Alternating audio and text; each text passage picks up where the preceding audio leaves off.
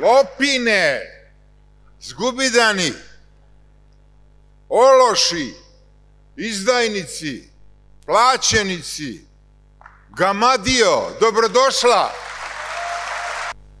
Dakle, čovjek pogreši, da, odabere pogrešnog partnera u životu, odabere pogrešan fakultet, pa ima pravo da tu grešku ispravi.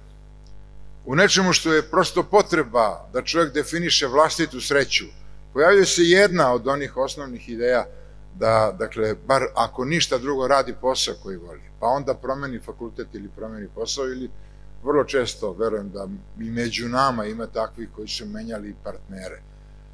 E, mi smo u situaciji da smo, i ako smo, i ako je većina nas pogrešila, ovog trenutka u situaciji da tu katastrofičnu grešku ispravljamo. Dragi prijatelji, sestre i braćo, mi smo narod i država u nestajanju i mora se probuditi ideja i stav o samoodržanju, inače nas neće biti.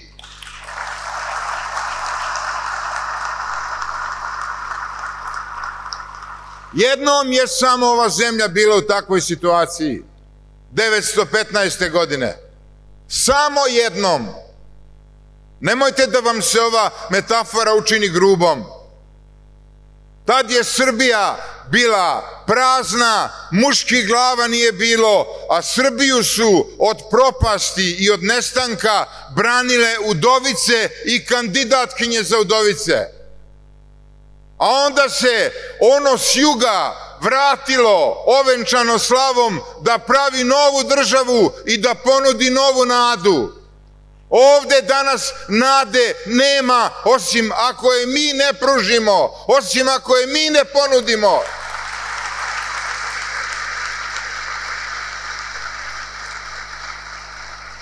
Pre dvadesetinu godina samo govorio sam o tome da svake godine jedan grad veličine Šida nestane. I koristio metaforu za 10-15 godina nema Novog Sada. Sad se ta stvar izmenila. Svake godine jedna jagodina nestane, a svake tri godine nema Novog Sada. Govorio sam o nekim staračkim očima koji tamo na nekim vojvođanskim klupicama gledaju prema Novom Sadu, prema Zrenjaninu, prema Mitrovici. Danas će du doći. Neće du baba i deda doći. Prevarit će du te. Ali doće du za slavu. Neće du doći ni za slavu, ali će tu ipak doći. Tako se govori u Vojvodini. Nemojte da vas bunjujete. Danas čak ni te pritajene nade da će du doći u subatu nema, jer su na Novom Zelandu, jer su u Torontu. Srbija ovog trenutka, dragi prijatelji, ima samo jedan miris, to je miris ilovače i miris čamovine. To nije sudbina jedne zemlje kakva je Srbija. To nije sudbina zemlje koja zaslužuje da živi i koja zaslužuje da je bude. Ta su deca otišla ne zato što su bila željna znanja, što je potpuno logično i normalno. Ne možete kapsulirati ni jednu zemlju, ni jedan narod. Normalno je da se ide, normalno je da se putuje, normalno je da se upoznaju i sreću nove civilizacije, normalno je da se uče jezici, normalno je da se, dakle, putuje prema onim klimatskim uslovima, ako ništa drugo, koji vam više prijaju. Ali odavde su odlazili ti ljudi zato što nisu mogli da nabave ocu nitroglicerin, zato što su se inženjeri umorili od ajncera i pranja sudova, zato što su se lekari umorili od toga da kuvaju kafe, zato što su inženjeri morali da se sklanjaju ispred onih koji su kupili diplome. I neće biti revanšizma toga tipa o kakvom je govorio Vuk Jeremić. Ako se ja budem pitao, biće, bit će žešći.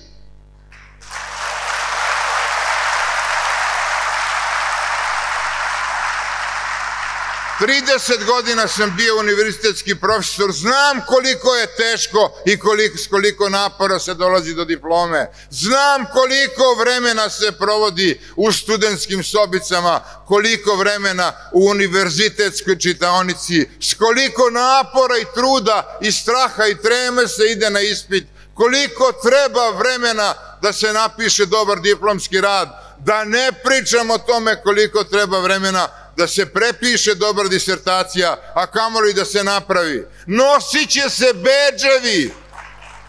Beđevi će se nositi. Ja sam ukrao diplomu.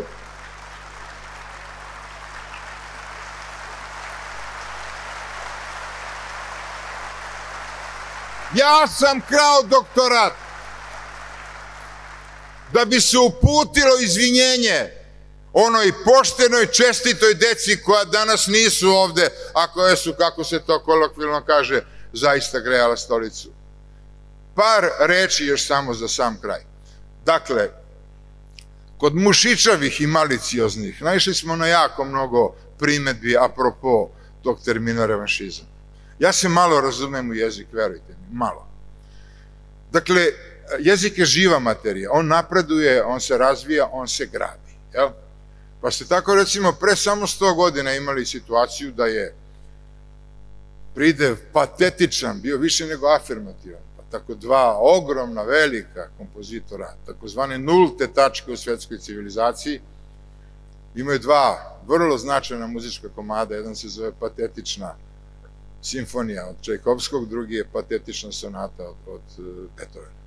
Dakle, onda se vremenom taj izraz patetičan polako menjao, danas ga imate, ako koristite anglosaksonski rečnik, kao nešto što je najgore, nešto što je, ne znam, mislim da se čak i prevodi kao bedno, je li tako? Ako se ne varam. Dočim, recimo, ta evropska varijanta patetičnog, ona se više odnosi na nešto što je gnjecavo, melodramatično, neestetično i tako dalje i tako dalje.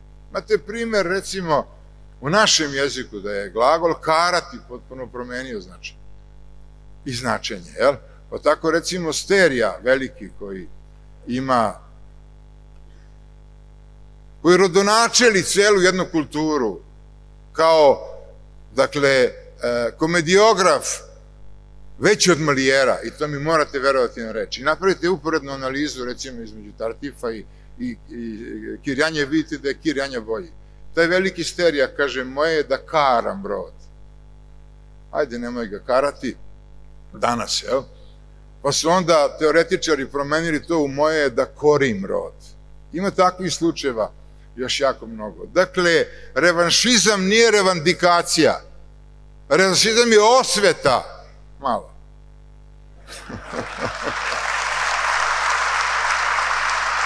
šalim se, šalim se. Ovo će sad biti isačeno iz, naravno, oni bi da se svete i mislim, oni bi da ubijaju. Šalim se, po Bogu, svoji smo.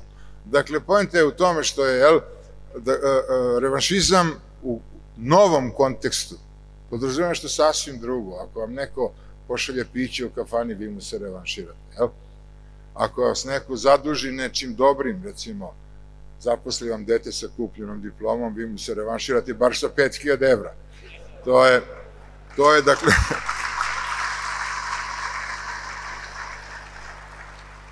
To je suština. Dakle, revanšizma će biti. I jedino čega se moramo plašiti i na čemu ćemo jako mnogo insistirati, to je da se ne ogrešimo ni okoga nevinog. Znate, postoji jedna poslovica kad gori suvo, onda gori i sirovo. Neće biti tako. Znate zbog čega neće biti tako? Ne zato što smo mi izgradili te fenomene pravičnosti do nekih olimpijskih visina. Između ostalog jesmo. Ali ovo je moderno vreme koje jako dobro pamti. Ne, nema stvari, nema situacije koja nije zabeležena. 45. su bila dovoljna dva svedoka, ako se nekom dopao vaš stan u Lajkovićevo ili kuća u Gospodskoj ulici u Novom Sadu i tu bi bio kraj. Ja? Eto novog vlasnika koji jede supu sa rezancima u Gospodskoj ulici iz tuđeg esega i jede supu i spava u tuđoj posteljini. Ovo vreme srećom nije takvo. Ovo je vreme koje je zahvaljujući modernim tehnologijama i svim onim, dakle, čime danas raspolažemo, nepogrešivo pamti. Znači, ne samo da se ne smemo i nećemo ogrešiti ni od koga, ne, ni od ali ne smemo nikoga pustiti da prođe bez tog zasluženog kaštiga, da bi se prosto sistem vrednosti uspostavio ponovo i bio tamo gde je bio nekad. Nekad dok smo bili zemlja o kojoj se držalo do reči, nekad dok smo bili zemlja prosperiteta i dok smo bili zemlja, dakle, iz koje se nije odlazilo iz nužde i zbog stomaka, nego zato što se tako htelo. Još samo jednu rečenicu za sam kraj. Dakle, dragi prijatelji, ponovit ću, narod kome pripadamo, građani ove zemlje, ova zemlja, ova država, nepovratno nestaje. Ostalo je vrlo malo vremena, ali vrlo malo vremena, da zamladimo i da pokušamo da je spasemo. Zaista nije vreme ali zaista nije vreme da se gleda na ideološke predznake, zaista nije vreme da se bude sitničav, jer prosto ova kuća gori. Dozvolite mi jedan neskromni samo citat. Kad gori kuća, onda apsolutno je svejedno hoćemo li je gasiti plavim ili crvenim ili žutim kanticama. Ovu kuću treba spasiti. Ovaj krov treba ugasiti da bi mogao da se pravi nov. A onda ćemo posle izbora svako svojim šorom, svako svojim sokakom. Mi koji još uvek možemo da kažemo Srbije mi, a da ne slažemo, mi ćemo ići svojim putem. Ovi drugi ljudi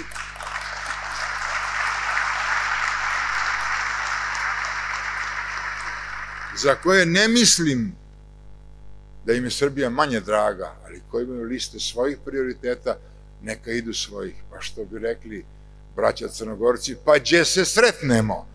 A srešćemo se 3. aprila, srešćemo se 3. aprila, to je dan svitanja. 3. april je dan pobede, normalne, zdrave, hrabre, demokratske Srbije. Živela Srbija!